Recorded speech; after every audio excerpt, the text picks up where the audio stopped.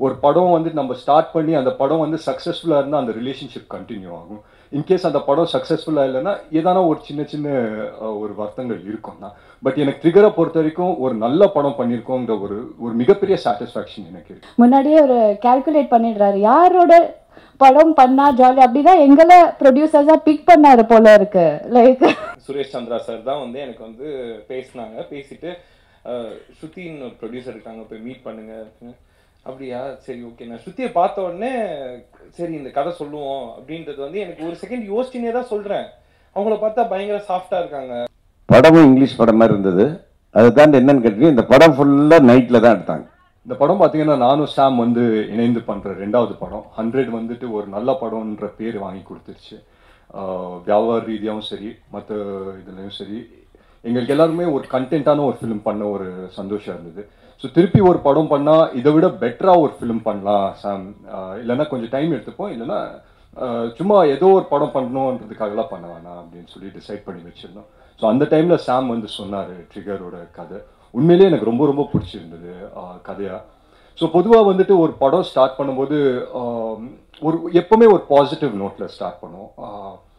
படம் வந்துட்டு இப்படி பண்ணலாம் அப்படி பண்ணலாம் அப்படின்னு சொல்லி ஸ்டார்ட் பண்ணுவோம். பட் அந்த லாஸ்ட் ஒரு நாலஞ்சு நாளில் வந்துட்டு உண்மையிலேயே ஒரு ஒரு வார் ஃபிலிம் மாதிரி ஆகிடும் அது என்ன படம் எடுத்தாலும் அப்படி தான் ஆகும். ஏன்னா அவ்வளோ டென்ஷன்ஸ் அவ்வளோ ஸ்ட்ரெயின்ஸு அந்த மாதிரி போயிடும் டுவர்ட்ஸ் தி எண்ட் பட் நான் சொல்கிறேன் இந்த படம் வந்து நம்ம ஸ்டார்ட் பண்ணதுலேருந்து ஒரு பாசிட்டிவ் ஒரு ஒரு விஷயத்தை ஒரு வைப்னு சொல்லுங்க. ஒரு வைப்னு வச்சுக்கலாமே. ஒரு ஒரு பாசிட்டிவ் வைப்பில் இந்த படத்தை ஸ்டார்ட் பண்ணோம். ஸோ ஒரு ஒரு ரீடிங் செஷனில் நான் ஸ்ருத்தி எல்லாருமே உட்காந்து இந்த கதையை பேசணும். ஸோ அப்போ பேசும்போதே ஒவ்வொருத்தரும் அவங்கவுங்க இன்புட் வந்து கொடுத்தாங்க. ஸோ அவங்கவுங்க இன்புட்டை எடுத்துகிட்டு சாம் வந்து நிறைய சேஞ்சஸ் பண்ணார் ஸ்கிரிப்டில் ஸோ ஃபைனலாக நம்ம ஸ்கிரிப்ட் படிக்கும்போது உண்மையிலேயே நல்லா இருந்த மாதிரி இருந்தது. அஃப்கோர்ஸ் இது ஒரு ஆக்ஷன் படம் தான். அதில் எந்த மாற்று கருத்தும் கிடையாது. பட் அதை தாண்டி இந்த படத்தில் நிறைய விஷயம் இருக்குது நான் முத நன்றி சொல்கிறது பிரமோத் ஃபிலிம்ஸ் ஸ்ருதிக்கும் சரி பிரதீக் சருக்கும் சரி.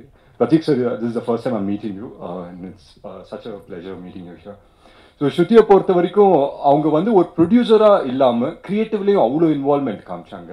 ஸோ பண்ண நான் ஒரு படம் பண்ணுறேன் இதை வந்து கரெக்டாக பண்ணுறேன் அதுக்கப்புறம் அடுத்ததை யோசிக்கிறேன்ற ஒரு ரொம்ப ஒரு தெளிவான ஒரு மைண்ட் செட்டில் இருந்தாங்க. அண்ட் ஐ திங்க் இன்றைக்கி நாங்கள் பார்க்குற ப்ராடக்ட் வந்துட்டு அதோட ஒரு எக்ஸ்டென்ஷன் தான். So thank you so much ஸ்ருதி. உண்மையிலே ரொம்ப ரொம்ப சந்தோஷம் உங்களை வந்து இந்த படம் மூலியமாக மீட் பண்ணது. பொதுவாக வந்துட்டு ஒரு படம் வந்துட்டு நம்ம ஸ்டார்ட் பண்ணி அந்த படம் வந்து சக்ஸஸ்ஃபுல்லாக இருந்தால் அந்த ரிலேஷன்ஷிப் கண்டினியூ ஆகும். இன்கேஸ் அந்த படம் சக்ஸஸ்ஃபுல்லாக இல்லைன்னா ஏதானா ஒரு சின்ன சின்ன ஒரு வருத்தங்கள் இருக்கும் தான். பட் எனக்கு ட்ரிகரை பொறுத்த வரைக்கும் ஒரு நல்ல படம் பண்ணியிருக்கோங்கிற ஒரு ஒரு மிகப்பெரிய சாட்டிஸ்ஃபேக்ஷன் எனக்கு இருக்குது ஸோ ரொம்ப ரொம்ப சந்தோஷம் இந்த படம் ஸ்ருதியோட பண்ணது. எனக்கு அருண் பாண்டியன் சார் வந்து ஃபர்ஸ்ட் டைம் மீட் பண்ணும்போது நான் என்ன எக்ஸ்பெக்ட் பண்ணுறது அப்படின்னு சொல்லி தெரியல. ஏன்னா அருண் பாண்டியன் சாரோட படங்கள் பார்த்துருக்கேன். அவர் எப்போவுமே வந்துட்டு கொஞ்சம் டிப் டாப்பாக இருப்பாரா ஸோ எப்படி போய் பேசுறது அப்படின்னு சொல்லி நாங்கள் மூணு பேரும் யோசிச்சுக்கிட்டே இருந்தோம். But I think from day one வந்துட்டு அவரும் ஜெல் ஆயிட்டார் அவரும் ஜாலி ஆயிட்டார் நம்ம டீமோட ஸோ ரொம்ப ரொம்ப சந்தோஷமா இருந்தது. அண்ட் சினி சார் பத்தி சொல்லி ஆகணும். சினி சார் பத்தி எனக்கு ஒரு இன்சிடென்ட் ஞாபகம் இருக்கு. எனக்கு வந்து நான் அப்போட ஷூட்டிங் போகும்போது சின்னி ஜெயன் சாரும் அப்பாவும் ஷூட் பண்ணிட்டு இருந்தாங்க. அப்போ அப்பா வந்து பக்கத்தில் உட்காந்துருந்தாரு சின்னி ஜெயன் சாருக்கு ஷார்ட் போயிட்டு இருக்கு. ஸோ க்ளோஸ் அப் வைக்கிறாங்க. காத்து அடிக்குது சினி ஜெயன் சாரோட முடி மட்டும் அப்படி பறந்துகிட்டு இருக்கு. நான் நான் அப்பா கிட்ட கேட்குறேன் என்னப்பா இவர் முடி மட்டும் இப்படி இருக்கு? அப்படின்னு சொல்லி கேட்டுருக்கேன் அது என் அப்பா ஒரு காமெடிக்கு சொன்னாரா என்னன்னு தெரில அவர் என் அப்பா சொன்னார் இல்லை இல்லை அவர் டெய்லி பிஸ்லரி தண்ணியில தான் குளிப்பார். அதனால தான் அவர் முடி அப்படியே இருக்கு அப்படின்னு சொல்லி. ஸோ அதுக்கப்புறம் நான் சின்னிஜன் சாரை மீட்டே பண்ணல. இந்த படம் மூலியமாக திருப்பி மீட் பண்ண ஒரு வாய்ப்பு கிடைச்சிது. ஸோ அப்போ பார்க்கும்போது அவருக்கு க்ளோஸ் அப் வைக்கிறாங்க திருப்பி அதே மாதிரி தான் பறக்குது முடி. இத்தனை வருஷம் ஆன பிறகு கூட. உண்மையிலே sir sir you still look young you still look amazing sir ஃப்யூச்சரில் நான் ஒரு காலேஜ் படம் பண்ணால் நீங்கள் வந்து நடிப்பீங்கன்ற ஒரு நம்பிக்கை எனக்கு இருக்கு. Uh, இன்னைக்கு வந்து சின்னிஜயன் சாரோட சன் வந்து எனக்கு ஒரு ரொம்ப close friend stunt master Dileep. Uh, Dileep master வந்துட்டாலே எனக்கு வந்துட்டு ஜாலியாயிடும் செட்லே ஏன்னா அவரே எல்லாத்தையும் பார்த்துப்பார். அவர் சொல்கிறது நம்ம செஞ்சு அவரோட டிஸ்கஷன் மட்டும் ஒரு சின்ன டிஸ்கஷன் வச்சுட்டு அவர் சொல்கிறது நம்ம செஞ்சுட்டாலே ஸ்க்ரீனில் சூப்பராக வந்துடும்ன்ற நம்பிக்கை எனக்கு இருக்கும். ஸோ அவர் வந்துட்டு இந்த படத்தில் ஆக்ஷன் பண்ணது ரொம்ப ரொம்ப சந்தோஷம். அண்ட் ரூபன் ரூபன் வந்துட்டு எனக்கு ரெண்டாவது படம் அவர் எடிட் பண்ணாரு. அண்ட் அதுக்கப்புறம் தொடர்ந்து ஹண்ட்ரட் பண்ணோம் அப்புறம் இந்த இந்த படமும் ரூபன் தான். ஸோ ரூபனை பொறுத்த வரைக்கும் நாங்கள் ஒரு கதையாக வந்துட்டு ஒரு ஸ்கிரிப்டை போய் எடுத்தோம் இல்லையா படம். அது வந்துட்டு எடிட் டேபிளில் சின்ன சின்ன சேஞ்சஸ் பண்ணார். பட் பார்க்கும்போது அவ்வளோ ஆப்டாக இருந்தது அவர் பண்ண ஒவ்வொரு சேஞ்சஸும் தேங்க்ஸ் லாட் அண்ட் ரூபில் ஒரு ஒரு நல்ல படம் பண்ண ஒரு நம்பிக்கை இருக்குது அண்ட் இந்த படத்தை நாங்கள் டீமாக எல்லாருமே பார்த்தோம். நாங்கள் என்ன யோசிச்சோமோ அதை வந்து எடுத்திருக்கோங்கிற ஒரு சாட்டிஸ்ஃபேக்ஷன் எங்கள் எல்லாருக்குமே இருக்குது I have to speak uh, a few words about Sam. Um, producers delighting. Sam, uh, I had so much fun working with Sam. Anjana சொன்ன மாதிரி தான் அவர் ஐ திங்க் uh, முன்னாடியே ஒரு கேல்குலேட் பண்ணிடுறாரு. யாரோட படம் பண்ணா ஜாலி அப்படிதான் எங்களை ப்ரொடியூசர்ஸாக பிக் பண்ணாரு போல இருக்கு. லைக் சரி எங்களை மீட் பண்ண ஜாலியாக இருக்கு. எங்களோட படம் பண்ணிடலான்னு. நீங்கள் தான் பிக் பண்ணீங்களா சாம் எங்களை? இல்லை இல்லை it was producers delight Sam இவ்வளோ நாள் ஷூட்டிங்க்கு வேணும்னு சொல்லி அதுக்கு ரெண்டு நாள் முன்னாடியே முடித்தோம் shooting he's so quick so efficient and ரொம்ப கம்மி டைம் தான். பேப்பரில் ஒரு uh, எக்ஸிக்யூஷன் பேட்டர்ன் இருக்கும். பட் அது அல்டிமேட்லி ஸ்க்ரீனில் எங்களோட விஷ் இருக்கு. ஒரு செவன்ட்டி பர்சன்ட் பேப்பரில் இருக்கிறது கொஞ்சம் ஸ்க்ரீனில் பார்த்தாலே we are generally as producers very happy but Sam எழுதினா almost hundred percent he shot as on screen எங்களுக்கு ரொம்ப திருப்தி.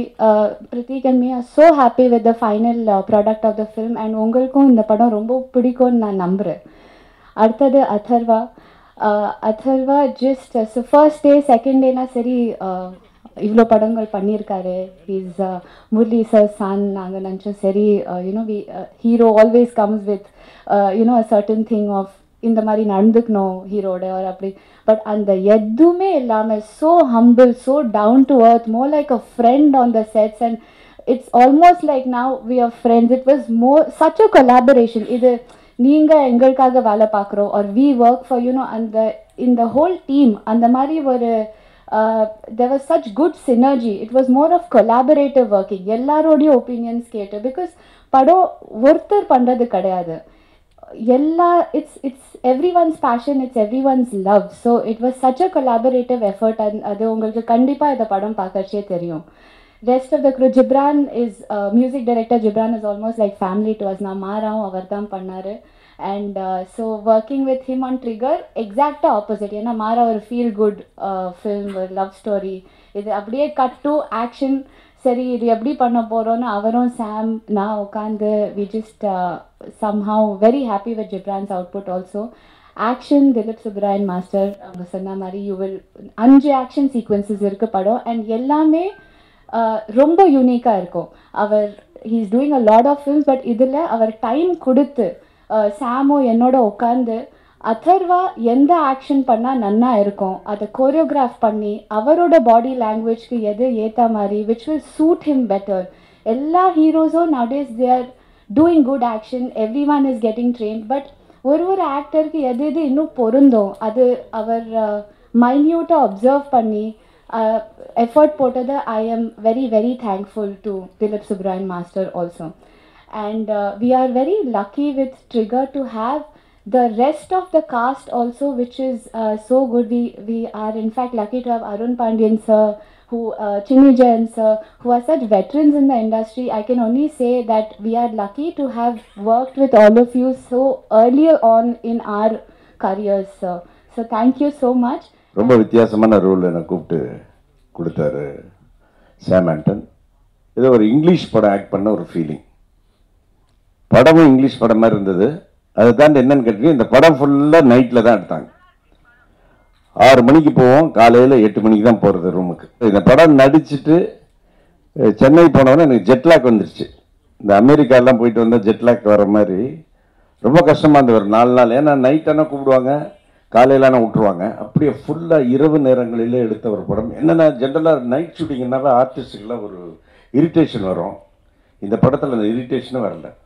ஏன்னா அவர் வச்ச ஒவ்வொரு கண்டென்ட் ஒவ்வொரு சீனும் அவ்வளோ நல்லாயிருக்கும். ஒவ்வொரு சென்டிமெண்ட் சீன்ஸ் எல்லாம் பார்த்தீங்கன்னா காலையில் நாலு மணிக்கு தான் எடுப்பார் கண்ணுக்கெல்லாம் கண்ணு மூடி தரதான் எரியும். இல்லாட்டி அந்த டைலாக் சொன்ன பிறகு பார்த்தீங்கன்னா எல்லாமே மாறிடும். அவ்வளோ பிரமாதமாக எடுத்தார்.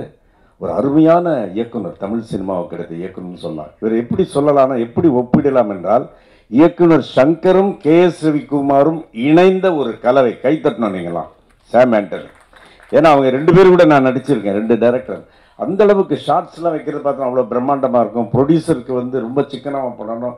அந்தந்த அது ஹைதராபாத்தில் ஷூட் பண்ண அந்த லொக்கேஷன்லாம் அவ்வளோ அழகாக டக்கு டக்கு டக்குன்னு மாற்றுவார் எங்கள் ஹீரோ அதர்வா அவங்க அப்பா கூட இருபத்தி ரெண்டு படம் நடித்தேன் அதர்வா கூட நடித்த முதல் படம் எனக்கு இதுதான். அருமையான ஒரு கதாபாத்திரம் இதில் எனக்கு கிடச்சிது. அதர்வாவை பற்றி நான் சொல்லணும். நான் நிறைய ஹீரோஸ் கூட நடிச்சிருக்கேன். உங்களுக்கு எல்லாருக்குமே தெரியும்.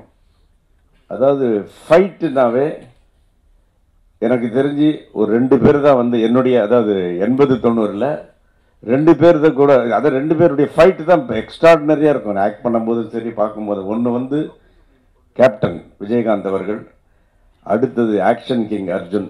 அதுக்கப்புறம் நான் பார்த்து என்ஜாய் பண்ணது ஷூட்டிங்கில் வந்து அதர்வா தான். சுரேஷ் சந்திரா சார் தான் வந்து எனக்கு வந்து பேசினாங்க. பேசிட்டு அஹ், ஸ்ருதின்னு ப்ரொடியூசர் இருக்காங்க போய் மீட் பண்ணுங்க. அப்படியா? சரி ஓகே நான் ஸ்ருதியை பார்த்த உடனே சரி இந்த கதை சொல்லுவோம் அப்படின்றது வந்து எனக்கு ஒரு செகண்ட் யோசிச்சுனே தான் சொல்றேன். அவங்கள பார்த்தா பயங்கர சாஃப்டா இருக்காங்க. அவங்க அவங்க ஆஃபீஸ் ரூமே பார்த்தீங்கன்னா அப்படியே ரொம்ப பொய்ட்டிக்காக இருக்கும். நம்ம சொல்ல போகிறது வந்து ஒரு ஃபுல் அதிரடி ஆக்ஷன் கதை.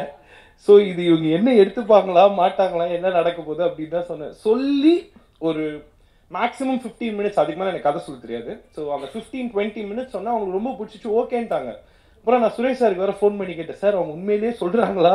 இல்லை ஏதோ வந்தா பாவம் பையன் ஏதோ கதெல்லாம் சொன்னாலே ஓகே அப்படின்னு சொல்றாங்களான்னு தெரிலன்னு ஸோ அதுக்கப்புறம் ப்ராஜெக்ட் ஆரம்பிச்சுது.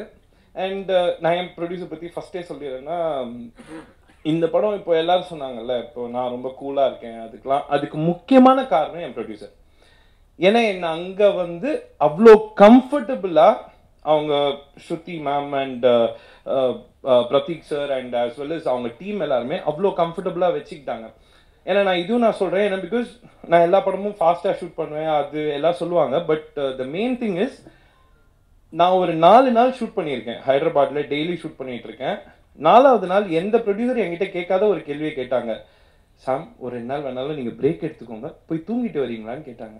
இப்போ இது இதை வந்து என்கிட்ட கேட்ட வேற எந்த ப்ரொடியூசரும் கேட்டதில்லை. அவங்க ஏன்னா அவ்வளோ அக்கறையாக இருப்பாங்க? அண்ட் என் அசிஸ்டன்ஸ் வந்து ஷூட்டிங் முன்னாடி ஃபோன் பண்ணாங்க. ஃபோன் பண்ணி ப்ரொடியூசரும் ஷூட்டிங்க்கு வருவாங்களாம். அவங்க வந்து ஒரு ஃபார்ட்டி டேஸ்மே நம்மளோட இருப்பாங்களா? லைக் ஓகே என் பசங்க தான் ஃபர்ஸ்ட் பயந்துட்டானுங்க. ஐயோ ப்ரொடியூசர் இருப்பாங்கன்னா என்ன நடக்க போகுதுன்னு தெரியலையே. இதோ அங்கே தான் உட்காந்துருக்காங்க நான் அப்புறம் கூப்பிட்றவங்க ஸோ என்ன நடக்குது? இதெல்லாம் சொன்னானுங்க என்கிட்ட. வந்தா எங்களுக்கு இது எவ்வளோ ப்ளஸ்ஸாக இருந்ததுன்னா நாங்கள் ஒன்றுன்னு கேட்டால் அவங்க அஞ்சு தருவாங்க. சீரியஸாக சொல்கிறேன் ஏன்னா பிகாஸ் நான் நான் லைக் ஃபைவ் ஃபிலிம்ஸ் ஓல்டுன்றதுனால இதை சொல்கிறேன் எனக்கு இது வரைக்கும் நான் கேட்குறத தாண்டி கொடுத்த company is like Pramod Films எனக்கு ரியலி ஐ ஜஸ்ட் வாண்ட் என ஃபெல்ட் இட் எனக்கு இது சொல்லணும்னு தோணுச்சு. அதனால I am just saying this so அப்படி எங்களை பார்த்துக்கிட்டாங்க. கேக்கெல்லாம் வாங்கி தருவாங்க. அண்ட் uh, எங்கே போனாலும் ஏதாவது ஒன்று வாங்கிட்டு வருவாங்க. They'll bring that they'll give that வைப்ல நீ ஷூட் பண்ணுற நல்லா பண்ணு. அப்படின்னு. So thank you thanks Shruti Thanks, Pratik, and it was wonderful working with you.